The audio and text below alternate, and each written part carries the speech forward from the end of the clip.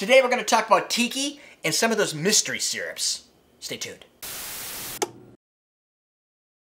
Welcome to Common Man Cocktails.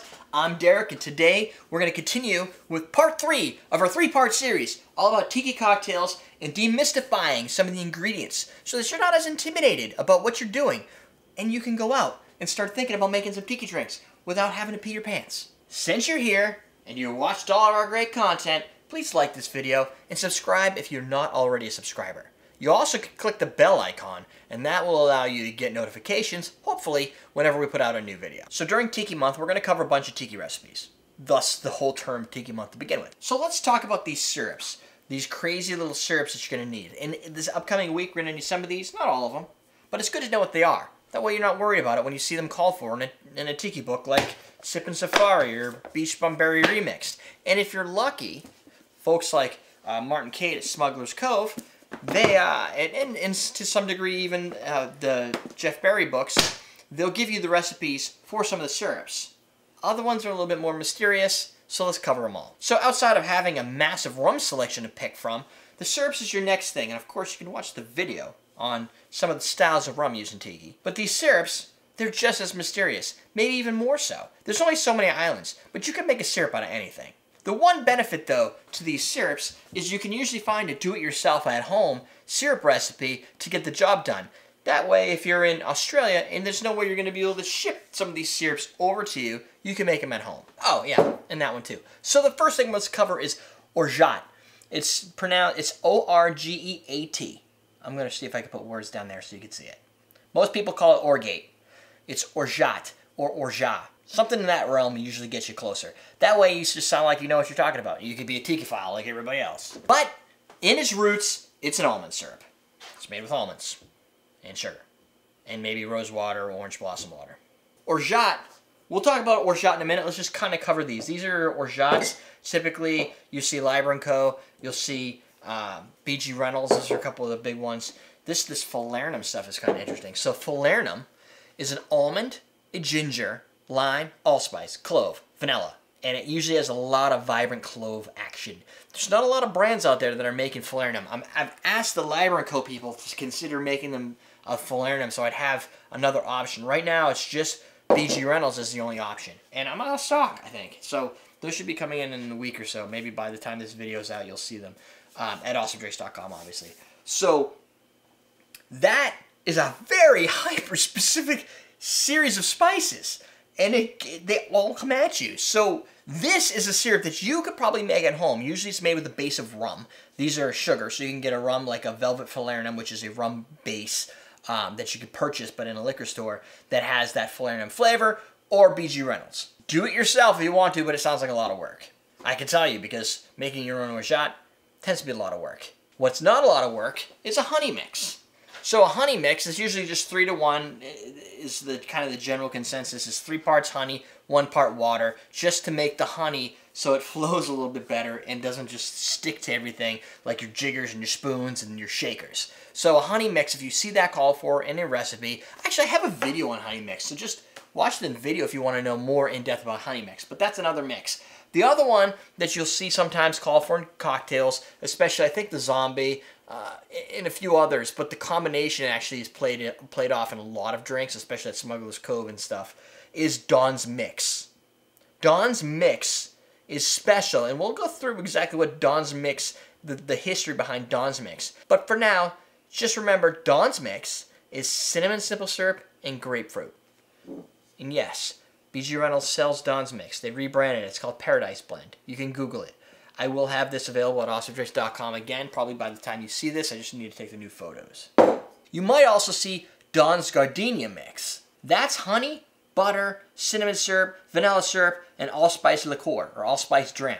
That's a mouthful. Like, that is some very, that's like falernum all over again, but with butter. So you'll see that used, uh, I think it's called for in the in the uh, Pearl Diver. I don't know if it's called for anything else.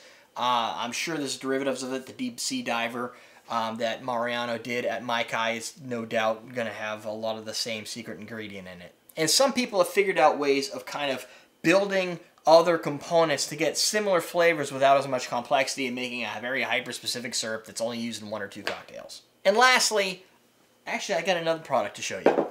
Fassionola syrup. So Fassionola syrup is something that's often used in uh, hurricanes. The original hurricanes called for Fassionola syrup. It's not one of those mystery syrups.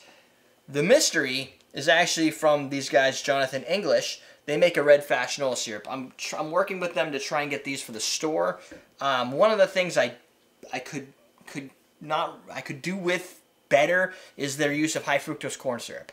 Uh, I'd like more natural product, but this is like a proprietary blendish type thing that it's a secret recipe, right? So to make fassionola syrup like this, to make fassionola syrup the way it was done with the original Hurricane, this is probably the product you would use. All that being said, there's also Cocktail and Sons fassionola syrup.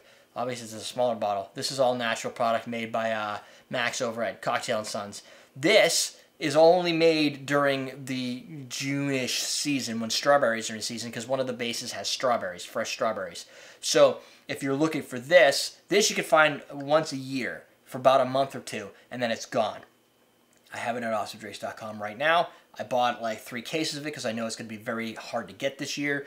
So if you're looking for something that uses, uh, that's a fashionable design for your hurricanes, you could try this. And just like most syrups that have existed in the world, when people cannot find the original syrups, they need to come up with a substitution. And the substitution that has existed for the hurricane for eons or so is passion fruit syrup. Liber Co. has a tropical passion fruit syrup. BG Reynolds has a passion fruit syrup. There's probably other ones. One of the key things about syrups and why maybe a DIY isn't exactly the same as the bottled is this is consistent. So if you have a cocktail or you design a cocktail that's using this specific passion fruit, it's only going to taste the same with that specific product. If you make your own passion fruit syrup and if you could do that, I'd love to taste it. Send me a bottle because passion fruit is a pain to work with. The consistency is going to be different depending on the season, the year, how many of the passion fruit were in the sun at a specific period of time. Same for oranges and citrus. The reason a lot of these products exist is they the the crafters are generating a consistent flavor by balancing all those flavors to compensate. So if they don't have a good almond year, if that's the thing, then you can maybe bring in a little bit more sugar. Or if you are making something that's say a Don's mix that's supposed to use white grapefruit that has like a seasonality of like a month and the rest of the time you can only get pink grapefruit and it's sweeter than white grapefruit, then you can balance the sugar against the grapefruit for a specific consistent flavor. And now, if you had to choose any of these specific syrups, if, if you said, Derek, I can only buy one, what should I get? Well, there's tons of cool passion fruit syrup recipes I've been putting out. But for a tiki focus, almond syrup is the way to go. Orgeat you will be able to, if you took a daiquiri instead of using regular simple syrup, you used almond syrup, you're going to get something that tastes like a Mai Tai, because it pretty much is. The, the almond flavor that's inherent to this product makes things taste tiki. And since they're used a lot in tiki, you'll find lots of recipes calling for orgeat. Second on that list, I would say, is falernum. If you own orgeat and falernum, you're conquering the list. The only things you might not have is vanilla syrup, which you can make simple syrup and vanilla extract. Don's Mix, which you can make cinnamon syrup and grapefruit juice. Or you need cinnamon syrup in a lot of tiki recipes. Fine, take some cinnamon sticks, stick them in some syrup while you're making your simple syrup. Boom! I have an entire video on syrups. You should watch it. Now, what makes this so mysterious? The reason that we have the tiki drinks we have today that have some of the authentic flavors is thanks to Jeff Berry. What Jeff did was decrypt a lot of the mystery that was put in place by folks like Donn Beach and folks like Mariano Licudine who had uh, built recipes, and since Mariano worked under Donn Beach, he understands the process. What Donn Beach did is said, hey, I want to just, I want to have these mystery liquids that nobody knows what they are. So I'm going to just put a number on them. Spices number four.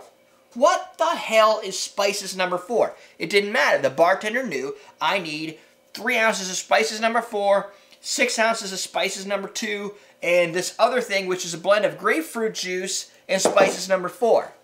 Well, great.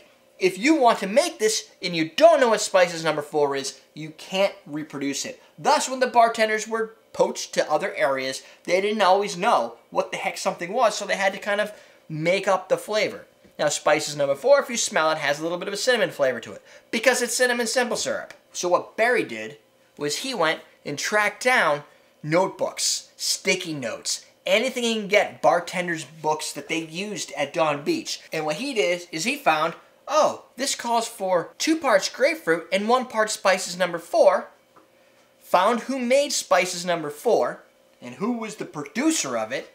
Found their notes, found people to interview, figured out that it was cinnamon, and went, wait a minute, cinnamon simple syrup and grapefruit is Don's mix. Now we can unlock everything that called for spices number four, including things that just called for spices number four to begin with. Rinse and repeat through all the different syrups, and you start to find and unlock the mystery that Donn Beach encrypted within his drinks. But that was in the 30s and the 40s and the 50s. These discoveries are fairly recent. So for a long time, people were just making stuff up, which is why you could go to five different Chinese restaurants across five different countries and get five different versions of a zombie. One thing you might not know, I didn't know, was that falernum was not invented by Donn Beach, nor was orgeat. These are not things that he said, hey, let's build this hybrid of a thing and use it. Falernum is an island syrup that was first published in 1896. Donn Beach wasn't born until 1907. So this product existed before he was born. All he did was leverage what it was and its taste to create his own specific cocktails with it. Orgeat is actually a French term, which originally was, I think, orgeat or, or, or something that uh, translated to barley. So what they would do is create barley oil, and they would use that as a flavoring. Unfortunately, barley oil is pretty bland. So they started to bring in some almond to it to give it some flavor and some, some additional nuance. Today, obviously, it's there's no barley at all. It's just almond. But this type of product was used in the 18th century to flavor cordials. Something you could drink after dinner or whatever. And, and the key here was that barley oil and, as it turns out, almond oil can survive outside of the refrigerator. So if you had this oil emulsification, you could store it in the times before refrigeration existed. Yeah, that was a thing. So this was actually built out of shelf stability as a flavoring. Then folks like Donn Beach and Trader Vic figured out how to utilize this for something different. Add some sugars in there to make it sweet, and boom, Mai Tai is born, baby. So given all of that, now you have some key components to what makes up a tiki drink. You have, if you've watched our video on rums, you understand what rums and why islands are specific to rums. You understand the mentality and the people who created it and you understand the syrups that they used to make their creations varying and flavorful. There's no more intimidation to making a tiki drink. Now it just comes down to the process. Is it blended? Is it shaken? Does it have a cool garnish? So you should now be pretty prepared for Tiki Month. That's it. Sidebar for more videos. Down below, you can check out awesomedrinks.com where you can get the bartender starter kit to get yourself started. And while you're there, pick up some syrups like passion fruits and orgeat. And of course, the Fassionola while it's in stock. We're teaching you how to drink.